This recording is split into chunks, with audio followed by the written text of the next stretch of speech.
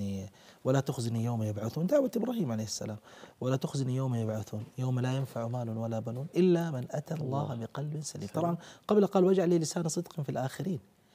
أو بعد قال واجعل لي لسان صدق في الآخرين.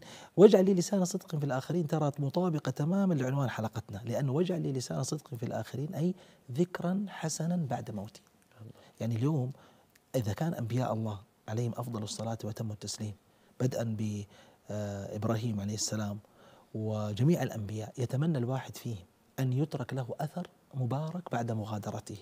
وذكر حسن يعني لسان لسان يذكره بخير بعد موته. فمن باب أولى نحن المقصرين.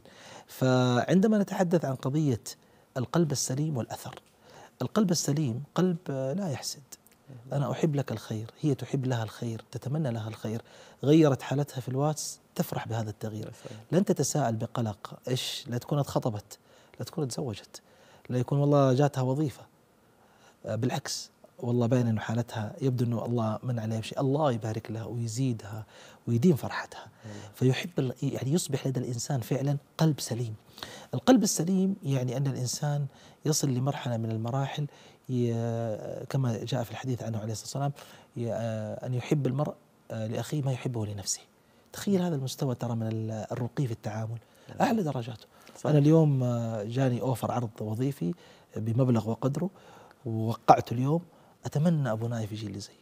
يا الله يا فرحتي الله. لو جاء ابو نايف زي تخيل إنه يكون هذا القلب.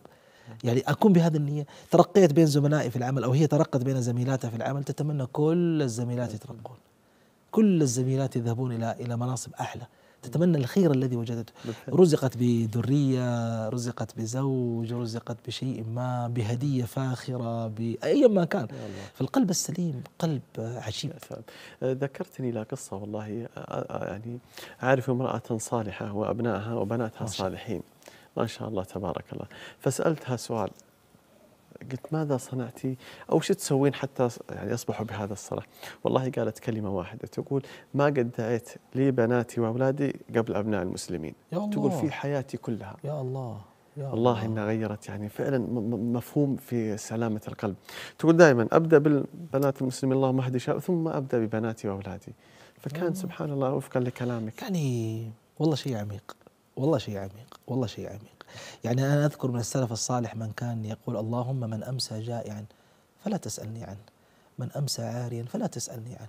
يعني هو قلق إنه أحد من المسلمين يمسي جائعا أو عاريا فيحاسب هو أمام الله. يعني قلقوا لهذا المستوى يعني في في قضية. وإن كان ما ليس له علاقة. يعني أنا في الأخير لست مسؤول عن كل الناس المسلمين إنهم الله أمسوا يعني بدون طعام أو لباس. لكن فعلا هذه نفوس ذكيه وأنا أعتقد إنه هذه سلامة الصدر وسلامة القلب. يعني القلب المخموم. قلب مخموم قلب يعني نحن ترى بالمناسبة. أحيانا من المغالطات يعتقد أنه هذا القلب المخموم القلب النظيف القلب الطاهر هو القلب الذي يضحك عليه وتسلب حقوقه ويضيع في الدنيا وحالته حالة هذا اللي يفهمون العامية. أيوه هذا يقول لك يضحك عليك الناس ترى.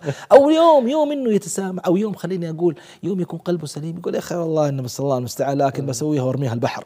والله بس أنا أنا أنا هذا موضوع البحر ما إلى عجزت أفهم إيش الموضوع اللي أسوي الخير وأرميه في البحر.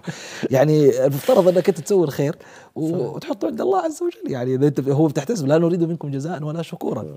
لكن الذي يريد أن أقول إنه فعلا صفة آه سلامة القلب هذه الصفة الثالثة.